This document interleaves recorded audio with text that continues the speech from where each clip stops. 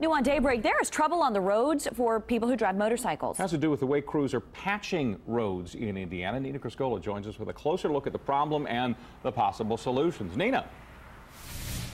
Good morning. Bikers call them tar snakes, those curvy black stripes along the road. You can see some here on Fall Creek Parkway. If you drive a four-wheel vehicle, you've probably never noticed it. But for those on just two wheels, they say it causes major traction issues. You're part of the motorcycle and you're, you feel everything, every bump, every twist, every turn, every lean.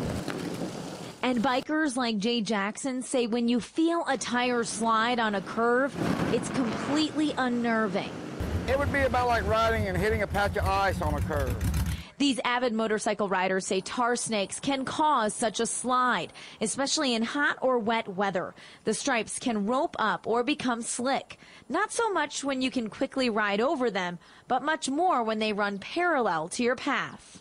The question comes up with mostly the material and maybe even the application. That uh, when they put this in, if there's too much of it, it, it can make a slippery, uh, reduced traction situation. And a 2003 study out of California supports that, saying common examples of poor sealing and filling methods include excessive use of sealant and multiple uses of treatments over the years.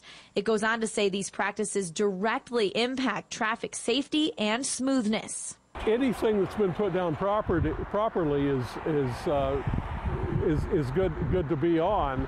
That's Harry Maginity with INDOT. He and other INDOT officials have been teaming up with ABATE, American Bikers Aim Toward Education. The two groups are trying to address the problem, and Maginity says work is underway. There might be some places where it's been put down too thick or hasn't been uh, leveled out with the pavement, or there might be some places where uh, a different uh, application might be required if the pavement's uh, broken up too much.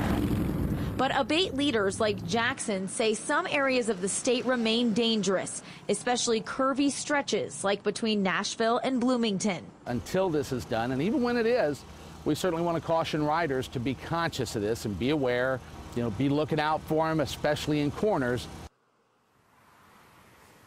Now, motorcycle riders say those on bicycles can also have the same issues with tar snakes. The one thing INDOT says they can't do is leave roads unpatched. Now, if you think you know about an issue on the roads or have a problem to report, you can formally do that to INDOT. We put a link to that form on our website, wishtv.com. Thank you, Nina.